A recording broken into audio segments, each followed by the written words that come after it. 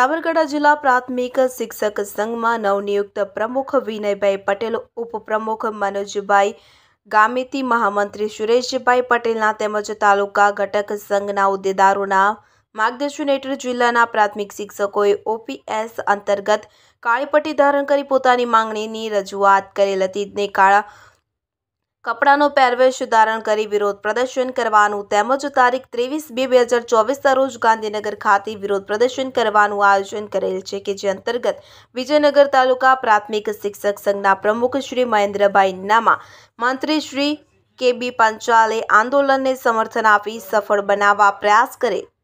reporter સંકેતા બેનસા